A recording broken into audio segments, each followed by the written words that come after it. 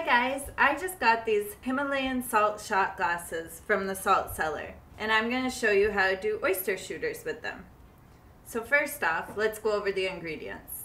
We have our lemons and limes, we have our shot glasses, we have our Bloody Mary mix, spirit of choice, and of course our oysters.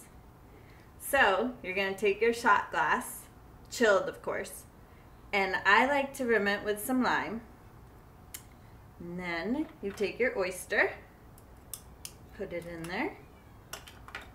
You take your spirit, top it off with a little Bloody Mary mix. I like to do a little wedge. Go. And enjoy. Cheers.